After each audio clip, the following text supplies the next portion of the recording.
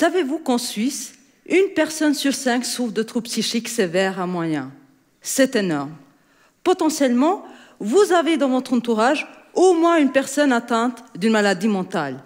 Et les conséquences des maladies mentales, telles que schizophrénie, dépression ou psychose, sont importantes, non seulement pour les patients, mais également pour leur entourage, donc nous tous. En 2009, je travaillais en tant qu'infirmière aux urgences de psychiatrie lorsque j'ai reçu l'appel de la mère d'une jeune fille de 22 ans. Elle me dit en pleurs et dans des angoisses terribles que sa fille Lisa venait de faire une tentative de suicide. Lisa voulait sauter du troisième étage. Et cette mère, elle a juste eu le temps d'appeler le secours pour lui venir en aide. C'est à ce moment que je décide de mieux m'intéresser sur l'expérience des proches.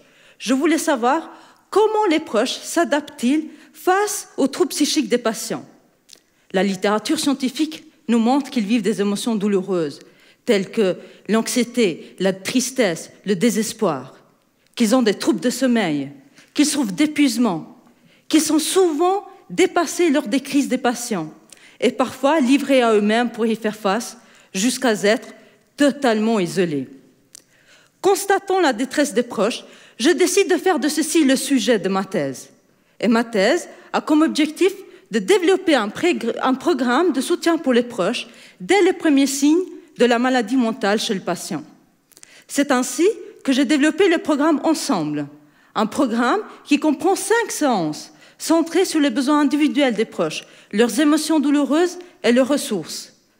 À travers les différentes séances, j'ai pu aider ainsi les proches, par exemple, à mieux gérer leur anxiété par des exercices de respiration ou à mieux gérer les comportements agressifs des patients et mieux communiquer au sein de la famille par des exercices de résolution de problèmes.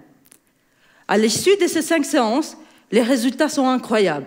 Les proches ont vu un réel progrès pour leur santé. Et en plus, ils étaient tous plus optimistes face à leur avenir. À ce jour, c'est le seul programme qui existe en Suisse et qui offre un réel soutien précoce individuel pour les proches. Actuellement, je travaille sur différents articles scientifiques pour faire connaître le programme et ses résultats. Mon prochain défi reste à le faire exister dans le système de santé afin que tous les proches dans le besoin puissent y avoir accès, potentiellement vous.